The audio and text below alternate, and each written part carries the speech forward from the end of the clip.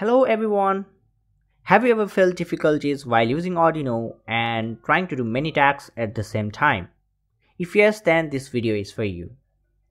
This video will teach you how to do multitasking with Arduino.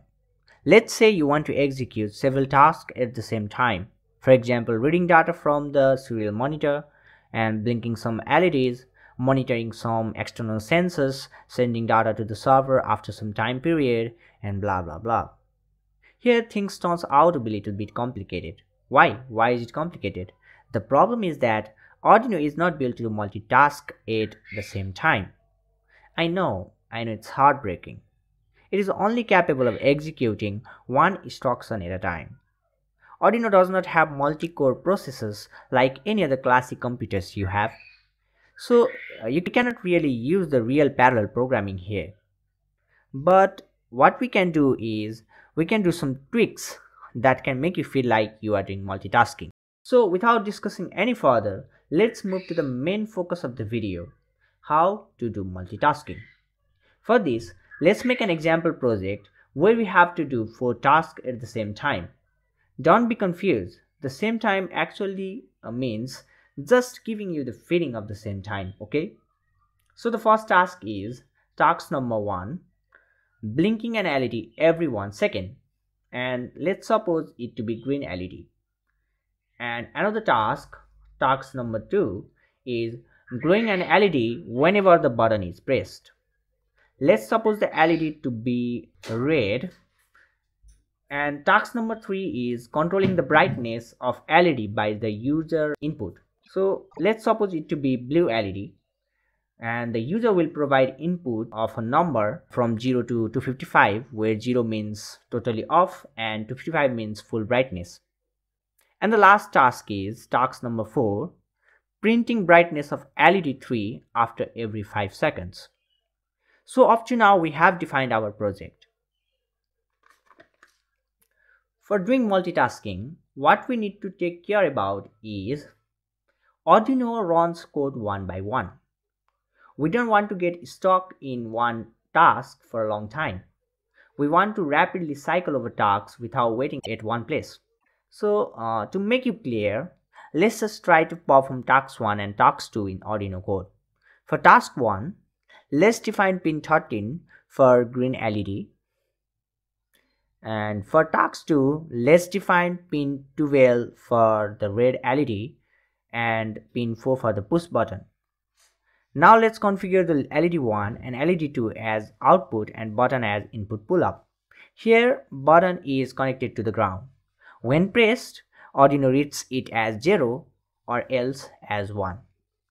Now let's make a blinking code for task 1. Waiting for a second, turning on the LED, again waiting for a second and turning off the LED.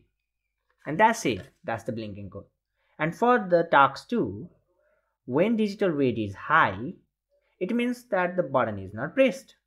So we need to turn off the red LED. If digital read is low, it means that the button is pressed. So we need to turn the LED on. The hardware arrangement is like this. Let's upload and check if it works, okay? Here, you can see that the green LED is blinking. But whenever I press the button, red LED is not glowing. So what must be the problem? We press the button, but the Arduino is still in task 1. To read the button press, we need the Arduino to be executing this code. But when we press the button, it's still busy executing task 1 and Arduino won't be able to read the button presses. Okay.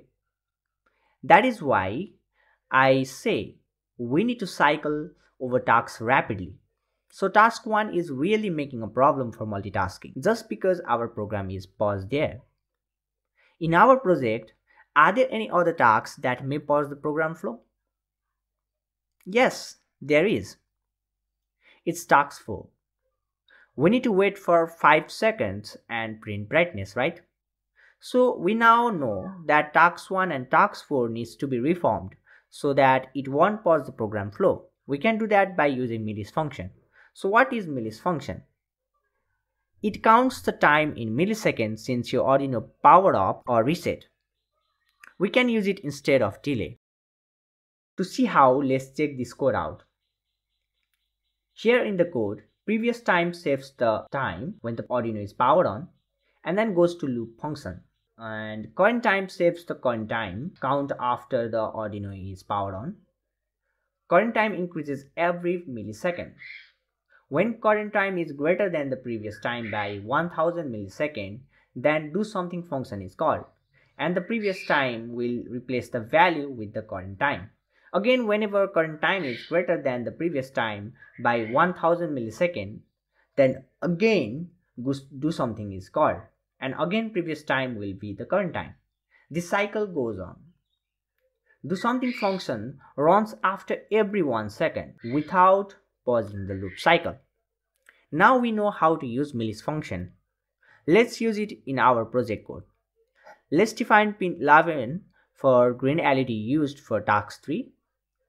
As we use um, green LED for brightness control, we have to use PWM pin. So we choose pin 11 for it. And make previous time variable for T1 and T4. Also, let's define interval for T1 and T4. We use 1000 for T1 because we need the LED one to blink every one second.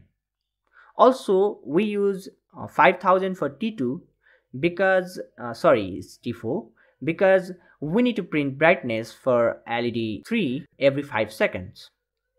Now in uh, setup, we will initialize the serial communication with 9600 baud rate and also configure LED 3 as output. Now it's time for writing task. For task 1, we will change the code with Millis code we used before. Now replace to something with digital write LED1, LED1 state. Whenever this if condition becomes true, we want LED1 state to be just opposite of the one it was before. For that, add LED1 state equals complement of LED1 state. Since we are using LED1 state variable, uh, we need to define it.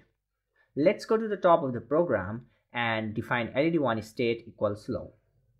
Let's also replace previous time with this and also interval 1000 with this leave the task 2 as it is because it is not affecting the loop cycle.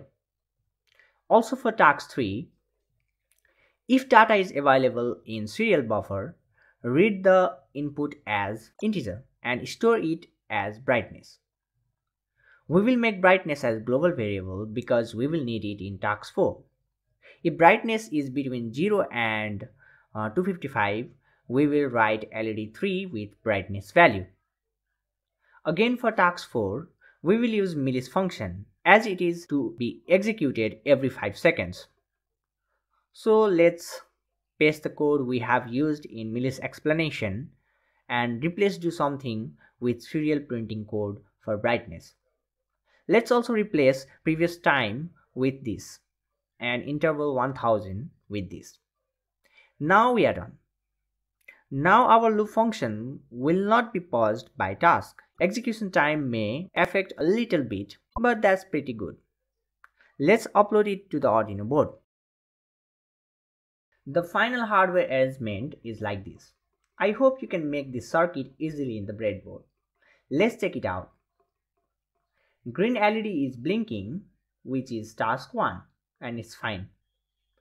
Also let's check task 2. Whenever I press button, red LED glows without affecting any other tasks. It is also fine. Now let's check uh, task 3.